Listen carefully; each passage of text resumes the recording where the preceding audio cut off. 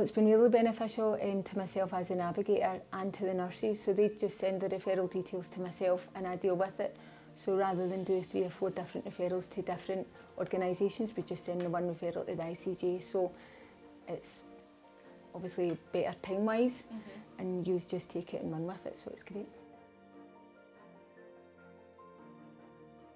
Obviously, with it being connected, it's Macmillan. The minute you tell that to patients, I think they feel a lot better. It's, they don't just think it's somebody random phoning them. Obviously, it's a recognised name, so with that, the patients are very comfortable in giving their details. And obviously, with the health one, with money, which is the big, the biggest fear for people when they know it's again Macmillan and grants and various things like that, they're quite happy.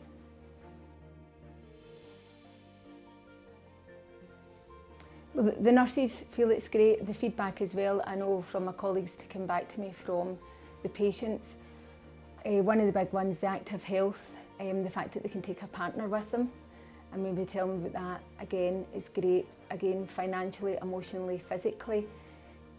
Cancer just doesn't affect one person, it affects family members again, so the fact that a lot of the referrals that the ICJ will then take and deal with can connect the family as well and help the families to support the patient as well.